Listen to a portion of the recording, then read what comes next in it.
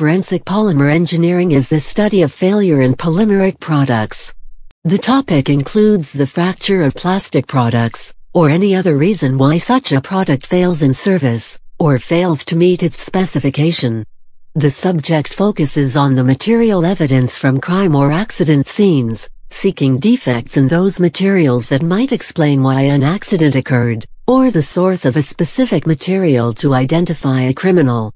Many analytical methods used for polymer identification may be used in investigations, the exact set being determined by the nature of the polymer in question, be it thermoset, thermoplastic, elastomeric or composite in nature. One aspect is the analysis of trace evidence such as skid marks on exposed surfaces, where contact between dissimilar materials leaves material traces of one left on the other. Provided the traces can be analyzed successfully, then an accident or crime can often be reconstructed. Thermoplastics can be analyzed using infrared spectroscopy, ultraviolet visible spectroscopy, nuclear magnetic resonance spectroscopy, and the environmental scanning electron microscope.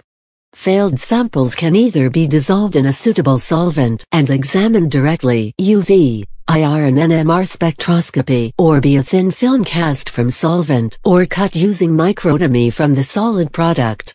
Infrared spectroscopy is especially useful for assessing oxidation of polymers, such as the polymer degradation caused by faulty injection molding.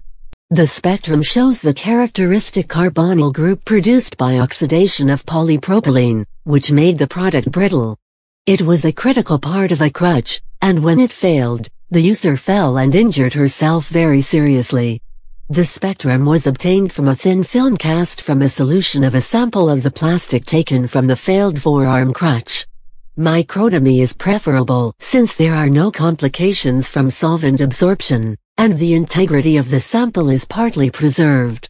Thermosets, composites and elastomers can often be examined using only microtomy owing to the insoluble nature of these materials. Fractured products can be examined using fractography, an especially useful method for all broken components using macrophotography and optical microscopy. Although polymers usually possess quite different properties to metals, ceramics and glasses, they are just as susceptible to failure from mechanical overload, fatigue and stress corrosion cracking if products are poorly designed or manufactured. Scanning electron microscopy is especially useful for examining fracture surfaces and can also provide elemental analysis of viewed parts of the sample being investigated. It is effectively a technique of microanalysis and valuable for examination of trace evidence. On the other hand, color addition is absent in some, and there is no information provided about the way in which those elements are bonded to one another. Specimens will be exposed to a partial vacuum, so any volatiles may be removed, and surfaces may be contaminated by substances used to attach the sample to the mount. Many polymers are attacked by specific chemicals in the environment, and serious problems can arise, including road accidents and personal injury. Polymer degradation leads to sample embrittlement, and fracture under low applied loads. Polymers for example, can be attacked by aggressive chemicals, and if under load, then cracks will grow by the mechanism of stress corrosion cracking. Perhaps the oldest known example is the ozone cracking of rubbers, where traces of ozone in the atmosphere attack double bonds in the chains of the materials. Elastomers with double bonds in their chains include natural rubber, nitrile rubber and styrene butadiene rubber. They are all highly susceptible to ozone attack, and can cause problems like vehicle fires from rubber fuel lines and tire blowouts. Nowadays, Antiozonants are widely added to these polymers, so the incidence of cracking has dropped. However, not all safety-critical rubber products are protected, and, since only ppb of ozone will start attack, failures are still occurring. Another highly reactive gas is chlorine, which will attack susceptible polymers such as acetal resin and polybutylene pipework. There have been many examples of such pipes and acetal fittings failing in properties in the USA as a result of chlorine-induced cracking. Essentially the gas attacks sensitive parts of the chain molecules, especially secondary, tertiary or allylic carbon atoms, oxidizing the chains and ultimately causing chain cleavage. The root cause is traces of chlorine in the water supply, added for its antibacterial action, attack occurring even at parts per million traces of the dissolved gas. The chlorine attacks weak parts of a product, and, in the case of an acetal resin junction in a water supply system, it is the thread roots that were attacked first, causing a brittle crack to grow.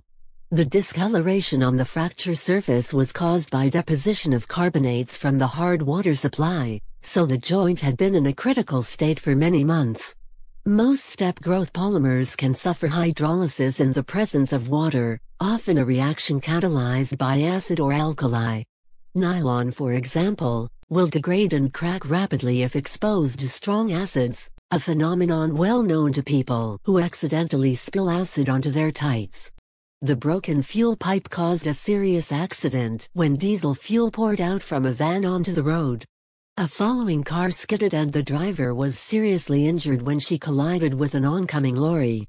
Scanning electron microscopy or ESEM showed that the nylon connector had fractured by stress corrosion cracking due to a small leak of battery acid. Nylon is susceptible to hydrolysis in contact with sulfuric acid, and only a small leak of acid would have sufficed to start a brittle crack in the injection molded connector by a mechanism known as stress corrosion cracking, or SCC. The crack took about seven days to grow across the diameter of the tube, hence the van driver should have seen the leak well before the crack grew to a critical size. He did not, therefore resulting in the accident. The fracture surface showed a mainly brittle surface with striations indicating progressive growth of the crack across the diameter of the pipe. Once the crack had penetrated the inner bore, fuel started leaking onto the road. Diesel is especially hazardous on road surfaces because it forms a thin oily film that cannot be seen easily by drivers. It is akin to black ice in lubricity, so skids are common when diesel leaks occur. The insurers of the van driver admitted liability and the injured driver was compensated. Polycarbonate is susceptible to alkali hydrolysis, the reaction simply depolymerizing the material.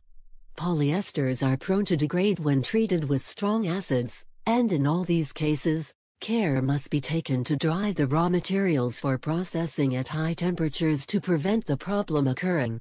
Many polymers are also attacked by UV radiation at vulnerable points in their chain structures.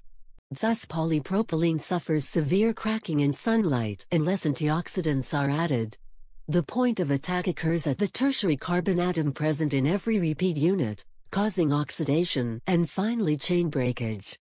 Polyethylene is also susceptible to UV degradation, especially those variants that are branched polymers such as LDPE.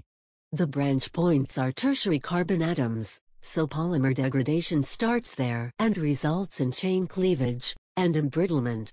In the example shown at left, carbonyl groups were easily detected by IR spectroscopy from a cast-thin film. The product was a road cone that had cracked in service, and many similar cones also failed because an anti-UV additive had not been used.